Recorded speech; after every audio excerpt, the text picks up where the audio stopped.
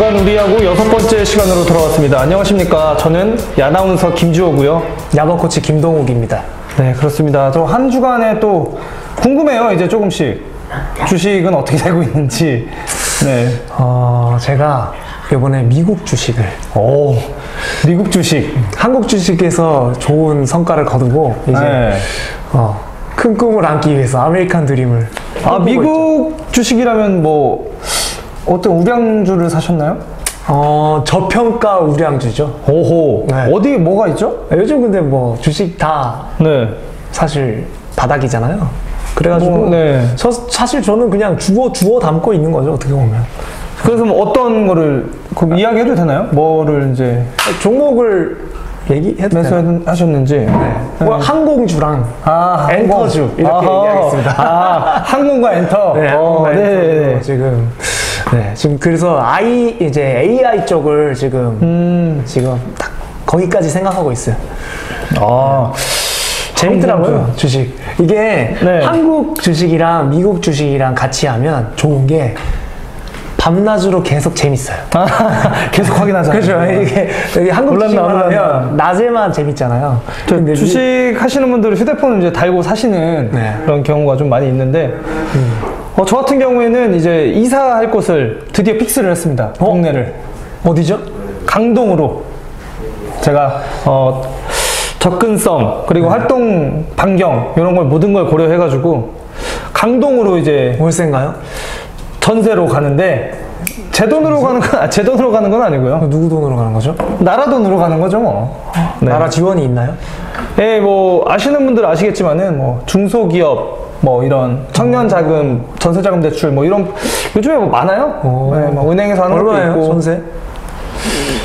1억 네, 1억이면은 사실 이제 동네가 동네마다 좀 이제 시세 차이가 있다 보니까 1억으로 전세를 어디 들어가기가 힘들더라고요. 서울 좀 이제 중심 부분에서는. 근데 뭐 강동은 어찌됐든 강남이나 송파 쪽 그리고 경기도 쪽 이 접근성이 굉장히 뛰어나고 매매는 안 되나요 혹시? 아 매매 저도 안 그래도 하고 싶은데 네. 아직까지는 좀 시기상조가 아닌가. 예. 뭐 그래도 좀 종잣돈이 있어야 시작할 수 있는 부분이 있어서. 아무튼 어느 개- 놈인가요? 네 지금 이제 방을 여기저기 보러 다니고 있는데. 예. 동네만 픽스를 했고. 네. 아, 그래서 이제 뭐 5월 중으로 아마 강동으로 이사를 하지 않을까. 뭐 그렇게 생각하고 있습니다. 지금 부천에 있어가지고 너무 왔다 갔다 하는 게 힘들어서. 네. 뭐, 그 정도가 뭐 한 주간에 있었던 특별한 일이 있다면 뭐 그 정도가 있었고. 참 우리도 정말 어지간히 하는 거 없다. 아, 저는 소개팅 한번 지난주에 한번 하긴 했는데, 어 어떻게 됐어요? 그 물어봐서 뭐 합니까? 그 나가립니까?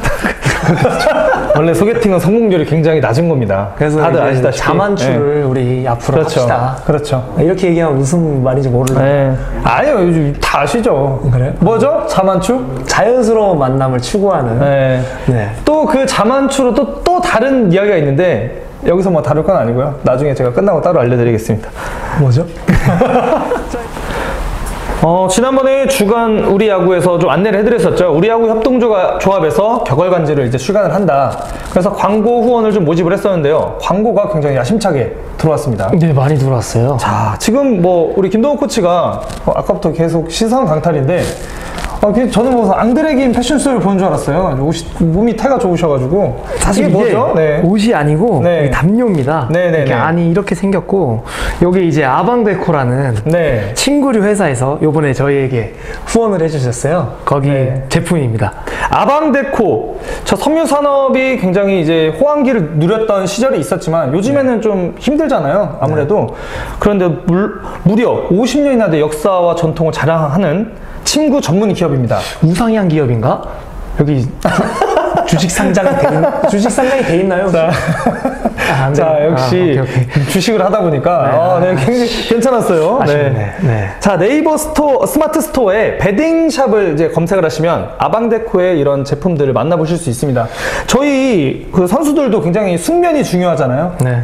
다음날 또 컨디션을 위해서 어, 이런 침구류들이 숙면을 취하는 데 있어서 굉장히 많은 비중을 차지하기 때문에 어, 네이버 스마트 스토어에 베딩샵을 검색하셔서 이 아방데코 제품을 좀 만나보시면 좋을 것 같다는 좀 생각이 드네요. 저는 사실 이게 선수들한테도 좋은데 네. 지금 딱 이게 사이즈가 이렇게 그쵸, 덮고 그쵸. 있으면 딱 좋아요. 네. 이제 학부모님들 사실 우리나라 이제 야구 보면 음. 봄에 사실 좀 쌀쌀하잖아요. 그쵸. 아직도 조금 아침 저녁으로 쌀쌀하니까 네. 코날씨에 이렇게 덮고 있으면 제가 봤을 때 이거 하나만 있어도 될 것 같아. 너무 따뜻한데? 아 그리고 네. 또이 아방데코 이 대표님이시죠. 또두 자녀를 그 운동 야구를 시키고 있는 또 학부 형님이세요. 아 그래요? 네, 어. 그렇기 때문에 어, 굉장히 이쪽 야구 쪽에 관련된 이런 관심도 굉장히 많으시고 저희 또 우리야구 협동조합에 이런 광고 후원을 넣어주셨습니다. 그럼 실제로 학부형이라고 하면 어떻게 좀 이- 있나? 아 그거는 뭐 제가 감히 말씀드릴 수는 없지만 네. 그래도 야구 쪽에 관련돼 있는 분들이나 예, 야구를 시키고 있는 학부모님들이나 어, 이제 뭐 매장에 방문하셔서 뭐 이야기를 하신다면은 뭔가 좀 혜택이 있지 않을까 예, 조심스럽게 예, 생각을 해보고 있습니다. 자 두 번째로는 이동호 선수 트레이닝 센터가 있죠. 네, 이동호 선수 트레이닝 센터. 네. animal flow로 유명한 곳이죠? 자, animal flow 이렇게 하면은 좀 생소하신 분들이 있으니까 좀 간단하게 간략하게 설명을 좀 부탁드릴게요. 그 named 이제 name하고 똑같이 그냥 동물의 네. 움직임에서 나오는 네. 이런 어 뭐라 해야 될까 그런 동작을 취하면서 네. 선수가 음. 그러니까 우리가 그런 몸의 쓰임을 알 수 있게 도와주는 아하. 트레이닝이죠. 그렇죠. 이제 선수를 전문적으로 트레이닝을 하다 보니까 좀 이런 그런 animal flow 같은 거에서 힌트를 또 얻어올 수도 있는 거고요. 그렇죠. 이제 실제로 어, 프로야구 선수들도 지금 제법 많이 다니고 네네. 있는 걸로 제가 알고 있어요. 서건창 네네. 선수나 네. 이 김원중 선수 대표적으로 네. 그리고 많은 아마추어 선수들이 지금 많이 트레이닝을 받고 있다고 알고 있습니다. 네. 야구 기술 외적으로도 굉장히 트레이닝 파트도 굉장히 중요한 부분이기 때문에 아, 그럼요. 네, 그 부분에 있어서 굉장히 좋은 그런 시스템인 것 같습니다. 전라북 어, 광주에 위치하고 있고요. 네, 광주 광역시죠, 광주 광역시. 저는 개인적으로 참 오랫동안 지켜봐 왔는데 네. 광주 선수들은 좋겠다. 이런 거 트레이닝을 받을 수 있어서. 그렇죠. 그리고 광주가 또 야구를 잘하잖아요. 옛날부터 그러니까 왜 광주는 야구를 잘할까? 이런 생각 많이 트레이닝, 해봤어요. 선수 트레이닝 센터 때문인가요? 근데 그럴 수도 있죠. 네. 네. 아, 아, 잘하시는데. 네. 후원해 주셔서 감사합니다. 네, 네, 하여튼 후원을 이렇게 광고 후원을 또 해주셨고요. 또 저희 세 번째로는 EFT 스포츠 심리센터가 또 저희를 후원해 주셨어요. 네. 또 개인적으로도 친분이 있으신 분이죠. 아유, 그럼요. 네. 김병준 코치님. 네. 정말 사람으로서 참 좋으신 분이고 네네. 그것보다 일단 이제 야구 쪽에서 야구 쪽에서 네. 좋은 사례를 많이 만들어낸 멘탈 네네네. 트레이닝 트레이너세요. 네네네. 네, 멘탈 코치지. 네, 멘탈 코치세요. 그렇죠. 야구가 아무래도 어, 멘탈 스포츠잖아요. 네, 실제로 굉장히, 뭐 네. 다른 스포츠도 많이 뭐 사격이라든지 네. 골프 이런 심리 쪽이 많이 적용을 하는 스포츠를 음. 스포츠 스포츠 선수들을 이제 어, 다루고 계시고 네네. 그리고 이제 EFT라는 이 전문 기, 이게 전문 기법 뭐 이렇게 얘기해야 되나 저도 잘 몰라서 네. EFT라고 네. 심리 치료 방법이라고 합니다. 네네네. 네, 이 방법을 통해서 선수들을 어, 치료를 해주고 계시죠. 네. 네.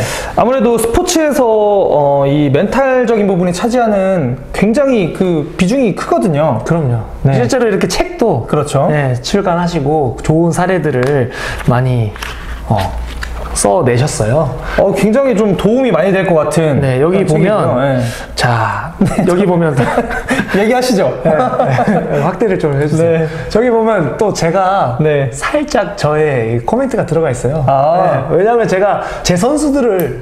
부탁한 적이 있어요. 네. 그래서 실제로 제 선수들이 어, 음. 좋은 어, 좋은 방향으로 갔던 기억이 있습니다. 네네네. 네, 여기서 한국지에 들어가 있나요? 들어 제가 들어갔죠. 저 책가 책에 실린 사람입니다. 네. 아, 지금 끝나고 한번 읽어보도록 하겠습니다. 김병철 코치 감사합니다. 제가 자 여기 보시면은 뭐 가까이에서도 보셨지만은 여기 어, 선수들이 이제 현장에서 호소하는 부상, 통증, 입스, 슬럼프 이런 부분들이 굉장히 좀 플레이하는데 영향을 많이 끼치잖아요. 아 그럼요. 특히나 이제 부상 부위를 이제 재활을 끝내고 다시 돌아왔을 때 네. 그리고 가장 무서운 게 입스라는 야구에서는 뭐 스티브 블레스 증후군이라는 게 있고요.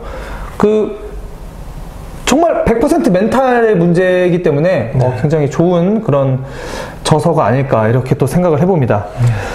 자, 마지막으로 이제 크로스 베이스볼 여기에서도 또 광고 후원을 해주셨어요.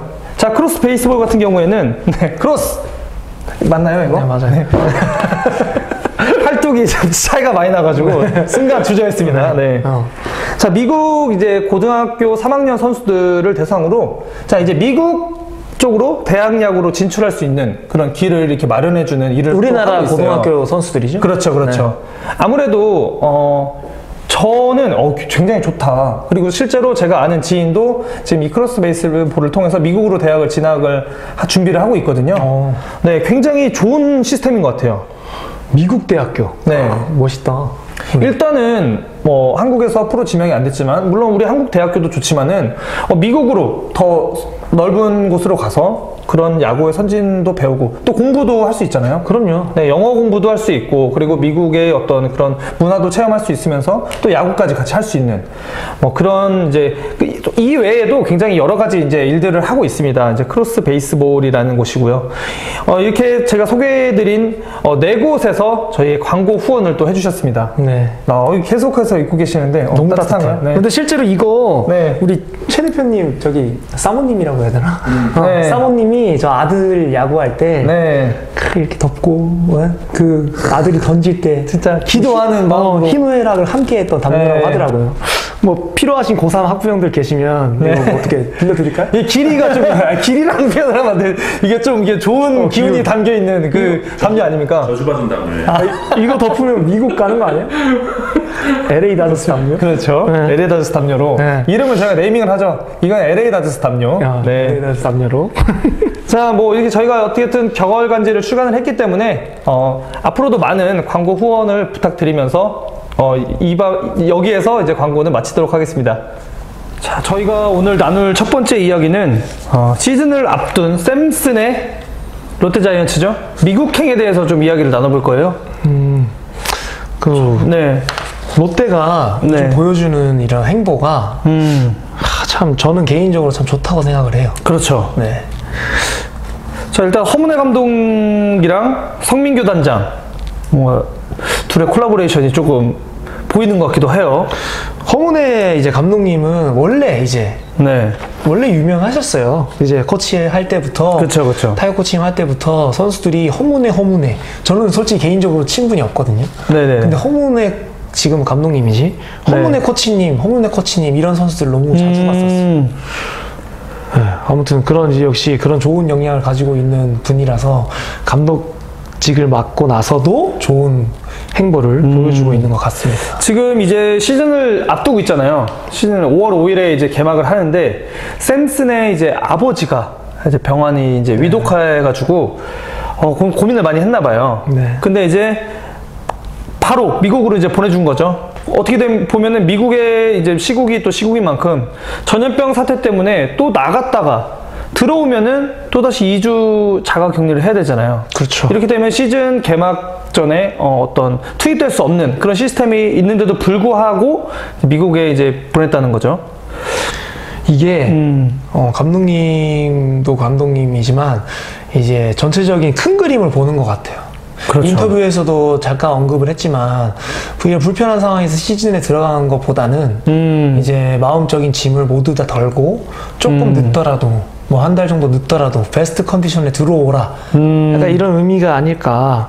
사실 저는 이게 맞다고 생각하거든요. 야구는 1년을 치러야 되잖아요. 네. 예, 근데 이제 당장의 시즌 개막 요런 작은 이런 단락을 보고 준비하는 게 아닌 이제 전체 시즌을 보고 준비하는 그렇죠, 그렇죠. 앞으로 샘슨 선수가 사실 등판하는 날이 더 훨씬 많잖아요. 그렇죠. 결정하는 날 우리가 잠깐 보는 한 달보다 음. 앞으로 제가 봤을 땐 뭐 한 달 늦게 오더라도 음. 한뭐 15번 이상 출전을 한단 말이죠. 그 안에 베스트로 들어와 주는 게 음. 롯데 입장에서도 좋은 시너지가 나오지 않을까 저는 생각을 합니다. 그리고 그 마음적으로도 굉장히 어, 고마운 마음을 느끼면서 뭐 롯데에 뭔가 애착이 좀 생길 것 같은. 사실 용병은 네. 그런 마음을 갖기가 어렵잖아요. 그렇죠. 근데 이런 모습을 보여주면 이제 음. 팀이 팀에 대한 애착 말씀하셨듯이 그런 게 그런 것도 생길 것 같고, 네. 자, 이제 해외에서는 사실 이런 사례들이 굉장히 많았어요. 그렇죠. 네. 아, 그리고 또 이제 이야기 빼먹었는데, 롯데자이언츠에 얼마 전에 샘슨이 미국 가는 거 발표 나기 전에 오윤석 선수라고 내야수 있거든요. 네. 오윤석 선수가 출산 휴가를 다녀왔다 하더라고요. 아, 2박 그래요? 3일 정도로 해서 네, 전혀 팀 훈련이나 경기 참여하지 않고 네. 이제 아기가 나올 때쯤 돼서 출산 휴가를 2박 3일 정도 떠났다가 이제 무사히 출산을 마치고 경기장에 복귀했다 이런 기사를 또 제가 본 적이 있거든요. 아, 굉장히 네 암- 물론 뭐 아직 시즌이 시작하지 않아서 뭐 가능한 일일 수도 있겠지만은 시즌이 시작하더라도 왠지 롯데가 이번에 이런 것들을 많이 보여줄 것 같은 그런 느낌이 선수가 드네요. 아까 네, 뭐 앞서 얘기했지만 마음적인 짐이 없는 상태잖아요. 그렇죠. 사실 뭐 2, 3일 야구 운동 더 한다고 얼마나 늘겠어. 음. 네? 그죠? 그리고 또 사실 이런 게 나오면은 이런 이야기 많이 하실 거예요. 뭐 중요한 경기, 예를 들면 뭐 한국 시리즈나 플레이오프나 팀의 어떤 뭐 플레이오프 진출이 다, 뭐 달려 있는 이런 경기에서는 사실 선수들이 가라고 해도 안 가지 않을까요? 그렇죠. 어, 예. 사실. 경기를 마치고 뭐 간다든지 뭐 이런 게 이렇게 될 것 같아요. 제가 선수 입장이라고 하면은 뭐 중요한 일이 있지만 그래도 경기 중요한 경기를 먼저 치르고 나서 그 다음에 이제 움직일 것 같거든요. 좀 혹시나 그런 생각을 하시는 분들이 있을까봐 좀 말씀을 해드렸고 저는 예전에 선수 네. 때참 기억나는 게 저 어렸을 때죠. 21살 때. 음. 저희 친누나가 결혼을 했어요. 아 결혼식 네, 저희 친누나가 결혼을 했는데 이제 아. 막내 누나예요. 그래서 이제 저는 우리 누나들의 결혼식을 간 적이 없어요. 음, 근데 막내 누나가 항상 저에게 내 결혼식은 꼭 와 이렇게 해가지고 이제 저는 알았어 나는 누나 결혼식은 꼭 갈게 이렇게 막 했었는데 결국 그 결혼식도 저는 못 갔어요. 아 네, 저 때문에 비 시즌에 잡았는데 제가 마무리 캠프라고 이제 11월 말에 그때 아, 당시에 괌에- 오키나와 괌에 가 있었군요. 예. 괌에 있었어요. 그때 우리 누나는 이제 저 때문에 11월 말로 잡았는데 날짜를 네. 음. 예, 그렇게 못 갔었던 기억이 있어요. 예. 참 이런 어떻게 보면 가족 행사인데 네. 어, 이 선수들도 물론 시즌이 치러지고 있고 굉장히 본업은 그거지만은 그 가족사라든지 굉장히 중요한 일이 있다면은 뭐 참여하는 그런 시스템도 저는 나쁘지 않다고 생각을 하고 있거든요. 그렇죠. 네. 이게 사실 이게 뭐, 네. 음. 작은 이 하루 이틀에 연연하지 않고 더 멀리 보는 이런 롯데의 지금 모습. 그렇죠. 네, 사실 저는 이런 게 참 좋은 것 같아요. 그리고 또 연습 경기 내에 교체된 선수는 먼저 퇴근해라. 먼저 퇴근하는 그런 걸 또 보여줬잖아요. 사실 생소해요. 굉장히 우리나라 그 야구에서는. 미국은 사실 시범 네. 경기나 이런 비시즌 이제 스토브리그 때 이런 모습을 많이 보여줘요. 음. 선수들이 먼저 출전한 선수들이죠. 그러니까 먼저 출전한 선수들은 이제 뭐 한두 타석 치고 바뀔 거 아니에요. 음. 바뀌고 나면 이제 라커룸 가서 뭐 개인 운동을 한다든지 아니면 정말 집에 가서 퇴 이제 퇴근이죠. 음. 퇴근을 한다든지 야구장에 더 이상 있을 이유가 없는 거죠. 그렇죠. 시즌이기 때문에. 근데 우리나라 이제 롯데자이언츠가 이런 모습을 보여준 것 자체가 우리나라도 이제는 바뀌고 있다. 바뀌려고 한다. 음, 뭔가 예, 저는 그런 모습이 좋습니다. 저 앞으로 이 롯데자이언츠의 이런 행보가 또 네. 다른 구단이나 앞으로 우리나라 야구에 또 미칠 영향에 대해서 좀 생각해 볼 것 같아요. 네. 다른 구단들도 뭐 중요한 일이 있고 하다 보면은 이 설레가 남았잖아요. 좋은 설레로 남게 되면은 또 다른 구단에서도 네, 아주- 으, 실행을 하지 않을까. 어, 갑자기 친한 척 하는데. 오늘 처음에 들어왔을 때 굉장히 반겨줘가지고 우리 사이가 좀 친해졌나 했더니 아니었더라고요. 그렇지. 카메라만. 또 미국 같은 데서는 그 메이저리그 뭐 그리고 뭐 NBA 선수들이 그런 집안 행사나 이런 거에 굉장히 참여하는 부분이 흔하기 때문에 어 그냥 그런가 보다 하는- 했는데 우리나라에서도 이런 일이 일어나니까 네. 굉장히 좋은 그런 긍정적인 발걸음이 아닌가라는 생각이 좀 듭니다. 자, 다소 저희가 항상 고민하는 부분인데 이 고교야구 아, 관중들이 너무 없잖아요. 어떻게 하면 좀 고교야구에 좀 관중, 많은 관중들이 경기를 보러 오고 관중 유치를 할 수 있을까? 여기에 대해서 좀 이야기를 나눠볼까 해요. 야, 고교야구의 관중이라. 네. 사실 일반 사람들이 고교야구를 보러 가는 건 쉽지 않다고 저는 생각하거든요. 그렇죠. 저는 그래서 굳이 관중 유치할 거 없이 네. 고교야구 그냥 고등학교에서 시합하면 안 되나? 그냥 대회를? 아, 이제 각자 학교에서 이제 홈앤어웨이식으로 예. 그 러면 게임 수도 더 많아질 거고. 그렇죠, 그렇죠. 이 사실 게임이 많아야 돼요. 그래야 스카우터들 뭐 더 멀리 봐서 스카우터들도 이 선수를 음. 뭔가 판단을 할 때더 많은 데이터가 쌓여야 이 선수를 뽑을 때 더 도움이 될 거라 저는 생각하고 또 이제 선수들 입장에서도 음. 많은 경기를 치러야 성장한단 말이죠. 그렇죠. 네, 그래서 막 자꾸 무슨 경기장 환, 환경이니 뭐니 이런 거 따지지 말고 음. 학교 조금 괜찮은 학교에서 조금 열악하더라도 그냥 거기 안에서 게임을 치르면 그렇죠. 관중이 동원할 게 뭐 있어요. 애들 등교하는 학생들, 아, 그렇죠, 그렇죠, 그리고 그렇죠. 동문들 그리고 뭐 조금 더 나아가서 동네에다가 조금 광고해도 그렇죠. 동네 어르신들이 올 수도 있는 거고 저는 그렇게 되면 충분히 몇백 명 오지 않을까 야구를 보지 않을까 생각을 해요. 자, 사실 그리고 공, 그 고등학교 야구 대회가 홍보가 잘 안 되는 부분도 있어요. 어떻게 보면은 사람들이 보러 가고 싶어도 어, 뭐 어디서 언제 열리는지 이런 정보가 없기 때문에 또 못 가는 것도 또 있다고 보거든요. 그래서 이제 김동훈 코치가 말했던 것처럼 뭐 홈앤 어웨이식으로 학교에서 이제 경기를 치르면서 어 뭐 그 동네 뭐 구 아니면 동 이런 단위로 해서 좀 홍보를 하면서 이런 주말 리그가 열리니까 뭐 와서 그리고 전 좋은 게 그 저희 이제 중계 방송 저희 방송사에서 WK 리그 경기를 하거든요. 네. 그러면 이제 경기를 하다 보면은 어 도시들이 좀 대도시들이 아니에요. 여자 축구팀이 있는 그들 뭐, 뭐 강원도 화천, 경남 창녕 막 이런 도시들이 많아요. 이제 경주 뭐 이제 이 경주가 뭐 도시다 아니다 이런 걸 떠나서 어떻게 보면은 그런 데 사는데도 관중들이 꽤 많이 오시거든요. 아 그래요? 네, 근데 왜 많이 오나라고 이제 제가 약간 분석을 해보니까 일단 지자체에서 홍보를 되게 굉장히 많이 해요. 네, 뭐 현수막도 걸고 뭐 하면서 홍보를 많이 하고 결정적으로 사은품이 있습니다. 사은품이 있어요. 관중들한테. 네, 어. 근데 사은품이 있는데 그 예를 들어 우리 어렸을 때 야구장 가면은 네. 그, 그 티켓 뒤에 보면 번호 있잖아요. 네. 그럼 몇회 아. 끝나고 뭐, 아, 그렇지, 그렇지. 뭐 무슨 뭐 당첨권 뭐 해가지고 하잖아요. 사람이 엄청 많잖아요. 아. 이게 될 확률이 엄청 적단 말이죠. 네. 근데 그 WK 리그는 많은 관중이 오시더라도 그렇게 많지 않아요. 어. 네, 관중들이. 그러면 내가 좀 될 수 있는 확률이 또 있는 거죠. 그리고 심지어 상품이 괜찮습니다. 뭐 주나요? TV. 괜찮네. 네, TV 뭐 그리고 뭐 에어프라이 에어프라이라고 하나요? 네. 그에 그리고 뭐 공기청정기 뭐 이런 것들이 있어요. 그리고 뭐 최소 뭐 라면 박스라든지 그러니까 이게 몇 등 몇 등 몇 등 해가지고 나오는데 1등 상품은 정말 TV예요. 어. 엄청 큰 TV. 참 그런 거 보면 축구 네. 쪽이 네. 축구 맞죠? 네. 그렇죠. 축구 쪽이 참 이런 움직임이 빨라요 항상. 야구도 빨리 따라가야 될 것 같은 저는 생각이 들거든요. 너무 우리 그, 우리 음. 안에 우리 우리들만의 리그를 하고 있는 이 느낌이 너무 강해요 야구는 아직. 그게 또 사은품이라고 하는 게 네. 사실 그거는 이제 협회잖아요. 축구 협회에서 주관을 하는 거고 네. 여기도 이제 물론 아마야구지만 협회가 있지만은 어떤 그런 상품의 그런 것들은 좀 달라질 수는 있어요. 그렇지만 뭐 이런 건 충분히 뭐 이야기하고 상의하고 하면 충분히 나올 수 있는 거잖아요. 그러면은 네. 이것도 보러 오는 또 재미 중에 하나거든요.